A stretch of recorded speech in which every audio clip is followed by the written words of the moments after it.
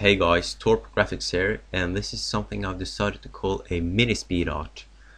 Um, and it's probably one of the, no actually it's definitely the, the weirdest logo I've ever made.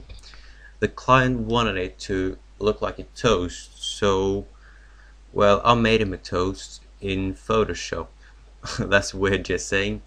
Um, anyways, the logo turned out pretty good. I'm happy with it and so is the client so you know that's all good. It's original and quite funny to look at honestly.